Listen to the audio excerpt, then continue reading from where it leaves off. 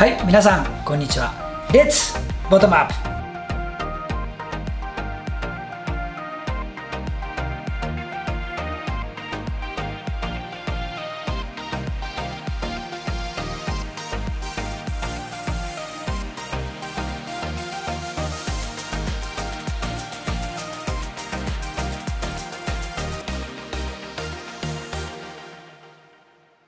えー今回もですね、えー日本一になるためのキーワードをまた一つ、えー皆様にお伝えできたらなというふうに思ってます、えー日本一になるために絶対監督の言うことは聞くな。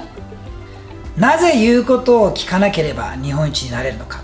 ていうところを、えー説明していきたいと思います。ぜひ最後までよろしくお願いいたします。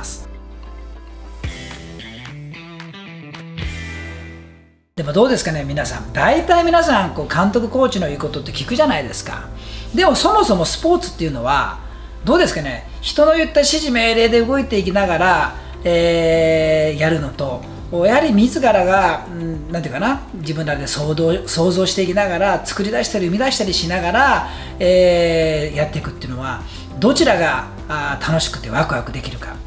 で大体人間っていうのは、うん、楽しい時に最高パフォーマンスが出るんですね。楽しくない時に最高パフォーマンスなんて出ないんですよ。だからいかに自分の心をプラスにしていきながら最高パフォーマンスにしていくか。となってくると人に言われたことをやるよりも自分で作り出したり生み出したりしてやった方の方が非常に楽しくてワクワクする。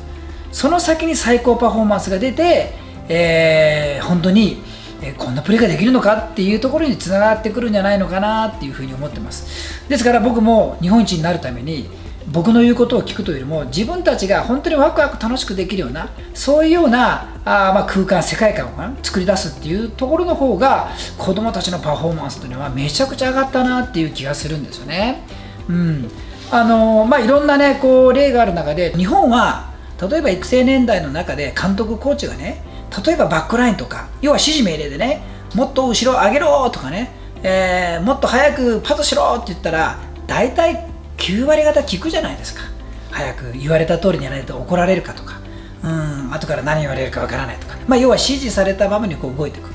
でも日本はそういう教育の中で、えー育ってきてるけどもでもヨーロッパとかはですねそういう例えばバックラインを上げろとかねパスしろとかね、ドリブルでいけっていうのはほとんどやらないですね。要は言うことを聞かないんですよ。で小学校4年生ぐらいからもうそうなんですって。で監督がねなんで今の聞かなかったんだ後ろを上げろって言っただろってなった時にいや僕は今は上げない方がいいと思ったからですって言うんですよ。あなるほどな。監督の言うこと聞いてないな。ということはあそこで、えー監督コーチは分かった。お前はそういうふうに考えたんだな。よし OK 分かった。じゃあそれで言ってみろっていうふうにまたここでもいい関係になるんですね。でも日本がでもしやるとですね何やってんだってことになるわけですよ。ですからもっともっとそういう世界をどんどんどんどんやっぱり変えていくっていうのがすごく大事ですよね。そもそもスポーツっていうのはやはり想像して生み出して作り出すワクワクしてやるっていうことがすごく大事でそこにパフォーマンスが上がるヒントがあるわけですね。でプロでもですね、えーまあ、僕のあの知り合いのね、えプロ選手でも海外に行っている選手が何人かいるんですけどもやはり、えートッププロでもやっぱり指示命令はあるわけです。例えば点取るためにこういうふうに動いてこういう流れの中でこういうプレーをしろよってね、えー言うわけです。でもトッププロっていうのはね言われた通りやってたんじゃダメなんですよ。やっぱり言われた通り指示命令されたプラスアルファ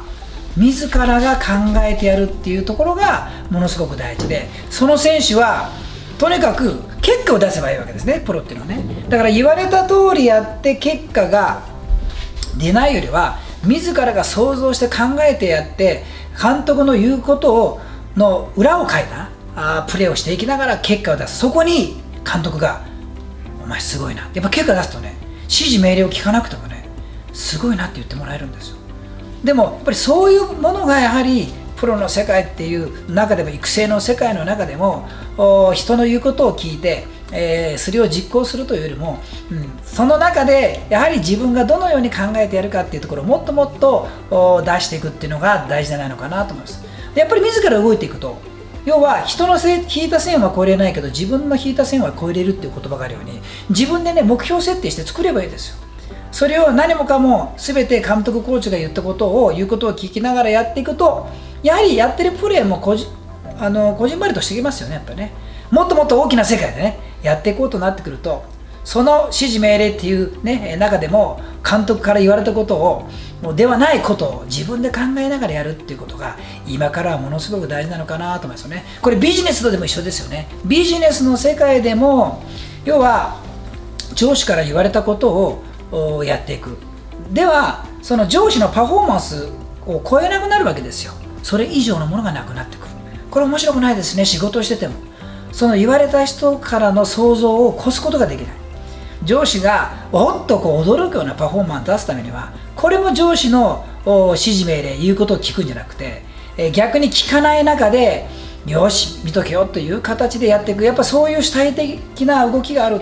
例えば社員さんっていうのがこれからはものすごく大事なのかなと思いますよね。その人の言うことをやるんであればもう AI で OK なんですよ。でももうそういう時代じゃなくて本当に作り出すためにはあスポーツで言えば監督の言うことを聞かない、えー、会社で言えば上司の言うことを聞かない。でその中でやっぱりプライドを持ちながら進めていくっていうのが今からこれから大事なことだなという感じがしますよね。やはり僕の指示命令通りだったりとか僕に質問をよくしていく。る時っていうのはねあんまりいい結果出てないんですよね。やっぱり日本一を取った時って僕のその思った以上のことを考えながらやった時要は僕の言うことを聞かなかった時の時代の時の方の方が結構いい結果をね出していったんですそれはなぜかというとやっぱり人から言われたことをやるよりも自らが作ってやるこの方の方がワクワクするからなんですよ。で先ほど言ったように人間っていうのはワクワクした時に最高パフォーマンスを発揮する生き物なわけですからこの状態が出てきてるというようなことになるのかなっていう感じがしますよね。あの大阪のインターハイで、えー、1週間で6試合やるわけですよ。でこれ全勝してもちろんね4200個の頂点に立つわけですけどもね。なんとね6試合すべて僕の言うことを聞かない。こういうミーティングだったんです。要は僕がいないミーティングなんですよ。僕ミーティングに一度も出てないんですよ。この6試合。全部子供たちが自分たちでミーティングやって1試合ずつ戦略を分析していきながら次の試合をどうするかっていう。要は人に頼らなかったんですね、うん、これ僕にね頼っててね僕の言うこと聞いてたらねえーと、初戦で負けてましたねきっと。間違いなく。1.2回戦。うん、これを聞かなかったが良かったんですね。やっぱり子供たちがね自分たちで、えー、監督の言うことを聞かずにやっていったっていうのがね、うん、ですからもう僕もね実体験としてそういう経験してるんですよ。6試合ですよ全国大会で。一度もない。決勝戦の前ですら監督ミーティングやりましょうなんてないんですよ。僕はね横に置いといてねもう自分たちでミーティングある意味ね,、えーとね決勝の前はねミーティングしなかったんですよ。寝ようぜって寝たんですよ。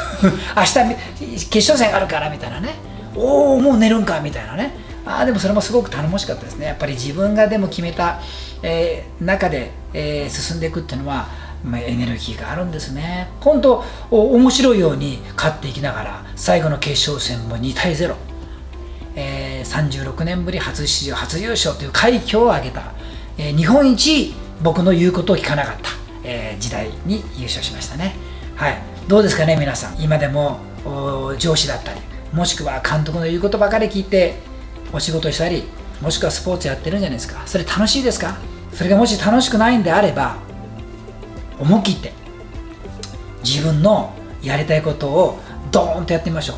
要は指示命令要は思考停止型にならずに自ら作り出す生み出すこう主体的になれ想像していくんだっていうような形でやはり仕事もスポーツもしていくってことはあすごく大事かもしれませんよね。でもう一つ僕のねエピソードでね全国大会に行った時に、えー、選手権ですよ。高校選手権。で、えー、最終的には全国4200校のベスト8になったわけなんでその準々決勝の時にやはりボトムアップ式で、えー、自らでこう決めていく戦略だったりとか戦術だったりとかどう戦うかっていうのがね子供たちで決めていくんですよ。もちろんメンバーも決めていくんですよ、うん、その中で準々決勝1ドルで折り返したわけですよね。このまま逃げ切る。もしくは追加点を入れたらね夢の国立競技場っていうとこまであったんですよね。でその時に後半がスタートしてで中盤あたりでね1点入れられたんですよ。で11になったんですよね。で11になってでもまだまだすごくそのリズムはすごく良かったんですけどもおちょっとリズムがあ徐々に徐々に悪くなってきた時に、えー、あることをこちらから指示すればきっとまあ負けることはないだろうと。要は追加点を入れることはできる。でも負けることはないだろう。でもこのまま指示をせずにいけばずるずるずるずるいってしまうなと。いう時にちょっとベンチにね子供たちもいたのでおいこういうことを先生がそう思うんだけども。で要はサッカーで言うとですね、えー、伸びきってるゲームってダメなんですね。やっぱりこれをコンパクトにしていくっていうことで相手もその狭い地域で戦わなきゃいけないからちょっと困るんですよね。だから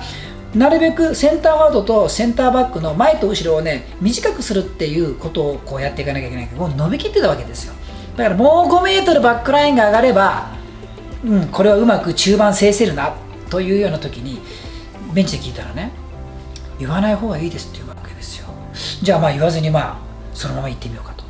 というふうな流れでいくとやっぱりねずるずるずるずるちょっと押し込まれてきたんですよ、うん、で最後残り23分かな？やっぱりね追加点入れられて2-1になったんですよ。要はそのまま、えー、行かれて2対1で負けて夢の国立まであと一歩というところでね行ききれなかったんですよね。その時に要は子供たちは自らでやったわけですよ、うん、でも僕はそこはちょっとね国立競技場もねパッとね頭にこう浮かんでねここ言って修正したらねちょっといけるんじゃないかなみたいなね。でも終わった時に子供たち泣いてますよ。それで3年生はみんな引退ですよね、えー、最後の選手権なわけですから。でみんなが集まった時にバックラインをねもうちょっと開けとけば、えー、うまくいったのになっていうふうなねこれで先生言った方が良かったかなって言ったらみんなが先生言わなかった方が良かったですやっぱり僕たちが決めてある意味先生に言われたことじゃなくて自分たちで決めたことをやったことに意味があってそこは勝ったとか負けたじゃなくてそこのプロセスに意味があるんだって言われた時はね本当にびっくりしましたよね。